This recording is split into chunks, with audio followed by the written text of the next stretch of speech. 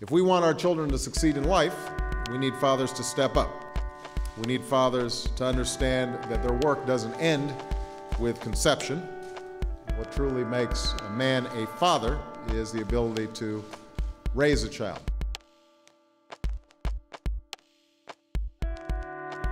Now, what a deadbeat dad is to me would be that guy who uh, participated in birthing a child and then leaves.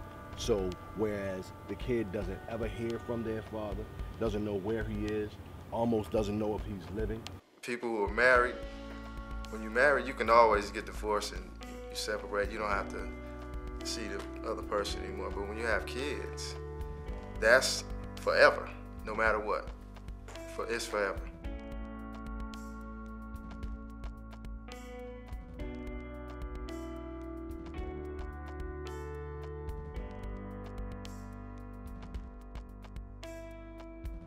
Moms always assume that just because they're the mom, that they're gonna have custody. Because the dads rarely ever fight. For me, my son was, once everything went south, the focus became on my son. told my son just this morning, I, I asked him, what is, a, what is the definition of a man? And he, and he told me that a man has a job, he pays his bills, and he has a car.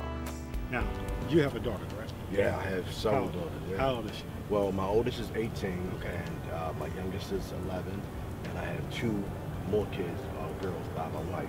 Okay, So I have four girls altogether. Oh, Yeah. awesome, man. And I was looking at statistics and saying, you know, 80% of African American kids will spend some of their lifetime without their fathers. And only half of other ethnicities spend their lifetime without their fathers. And I'm thinking that's a huge number, so somebody has to do something about this. It's a very, very, very common pattern that the father um, really doesn't want to participate very much in the, uh, the upbringing of the, of the child.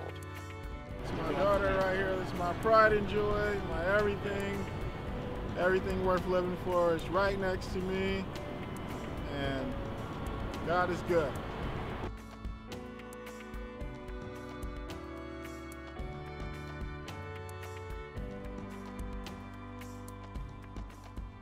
My name is Daryl McMillan, and I am a single father. I like to say that there are a lot of good single fathers out there. Um, they're often overlooked because of the ones that don't take care of their responsibilities.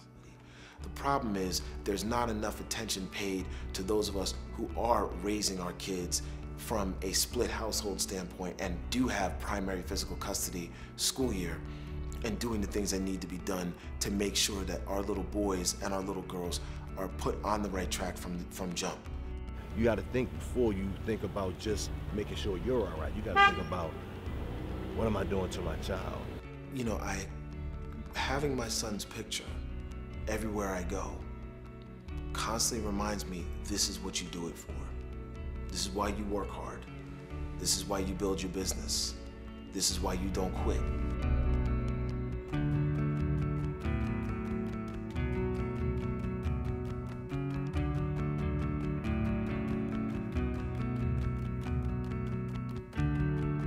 Fathers are our first teachers and coaches. They're our mentors. They're our role models. They set an example of success and they push us to succeed. Encourage us when we're struggling. They love us even when we disappoint them and they stand by us when nobody else will. You have every opportunity in the world to restart your career. You have the opportunity to make more money again. You have the opportunity to do this, to do that. You got one shot to raise your kids. One. And you got one shot to get it right.